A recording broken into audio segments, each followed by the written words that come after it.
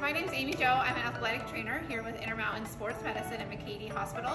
Um, I'm excited to join you guys for the next several weeks leading up to the marathon as we roll out some of our Runner Tip Tuesdays. And so stay with us, join us, and get some tips from Intermountain.